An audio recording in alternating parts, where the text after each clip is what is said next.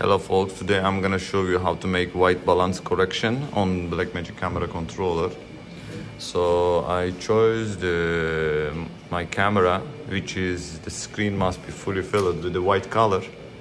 So here waveform meter on the monitor I can see the zero shows the black, the 100 shows the white, pure white.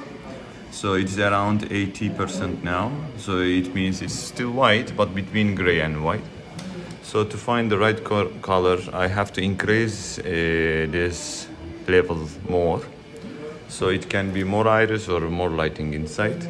So, but when I try to increase on my camera controller, it's oh, fully open and there is no more uh,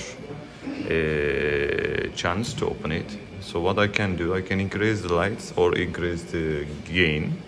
So the light increase is not possible, it's already full now. I will try to increase the gain here can see I can go until 90%, 90% is enough for white. So then after I will do my white balance correction, then after I can reduce again for to don't have a grain, grain in my video. So I just standardized my RGB colors. So there is there is a white balance, automatic white balance button here. You can see on the camera controller.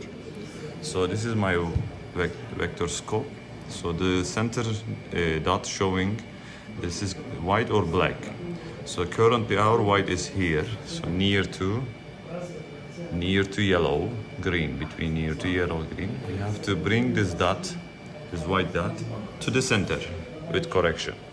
So first let's try automatic. I push and hold to this button, and auto, it bring here. This is because of camera, uh, it doesn't uh, make 100% uh, sensitive white balance.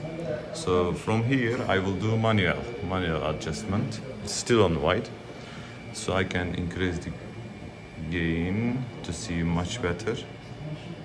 Yes, you can see here more. So what I have to do, I have to increase the blue a little bit from here to go to blue side yes.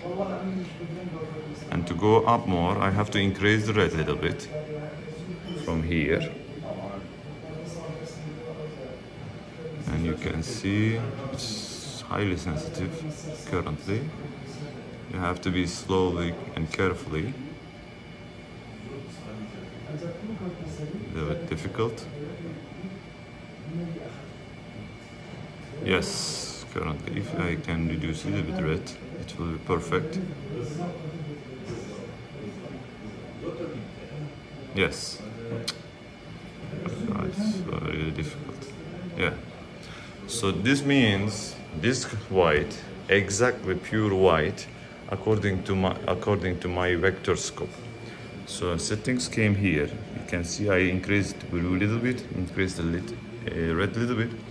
Now what I have to do, I have to re reduce the gain again because I don't need it. It's enough for skin colors. So this is my iris control, this is my master black control. So now currently we are on the white uh, with the right white balance setting. Thank you.